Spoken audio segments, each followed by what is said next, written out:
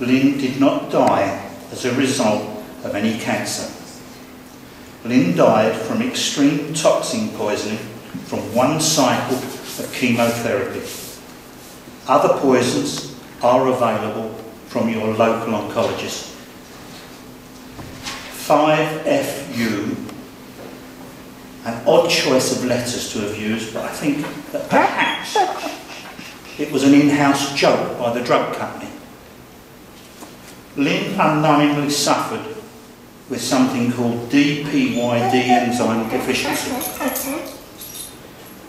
The DPYD enzyme is how the human body breaks down the toxins created by the drugs and helps to keep you alive whilst undergoing chemotherapy. You should at this stage be asking yourself, do I have that enzyme?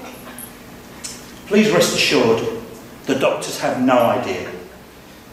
They don't offer a test on the NHS. They don't offer you the chance of a private test.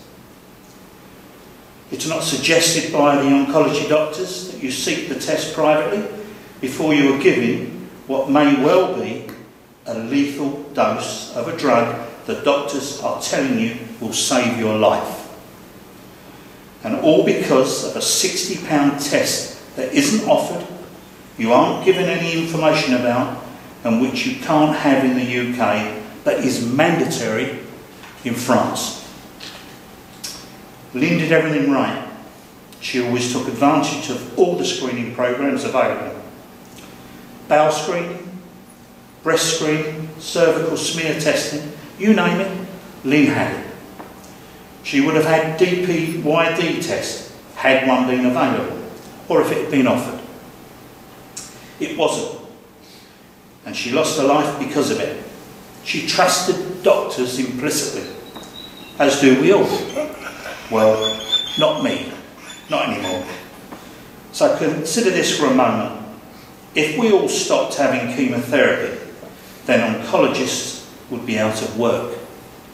They would become just another doctor. Within just four days of her colon surgery, Lynn was back at home. Just four days after that, she was out walking with me and our dog.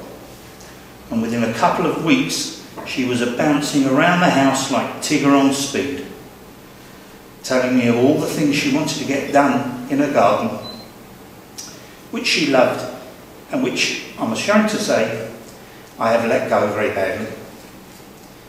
I cannot stress strongly enough that Lynn was perfectly healthy until she had just one treatment of chemotherapy, just one cycle was that chemotherapy even needed? Her last words to me before it became almost impossible for her to speak were, What have they done to me, darling? That is all I'm left with, as my wife's last words to me. That and the eternal feeling that I never did enough for her, or what I did do wasn't done quickly enough. That is the legacy the doctors have left me with. So, if free bowel screening is available in your area, then use it. If it's not, then pay for it privately, as it could save a loved one's life. And always research everything before agreeing to undergo any procedure. I'm on a crusade now to get the information out about DPYD. And I need to get it to the general public as a whole. Things must change, and they are.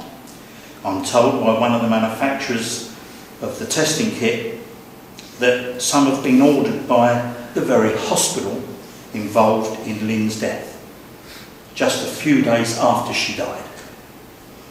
Her death did that the estimate for deaths from chemotherapy poisoning for 2017-18 was 10,000 in the UK alone.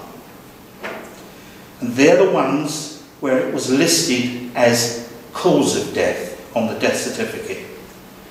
as opposed to just saying that they died of some kind of cancer. How many more go unrecorded?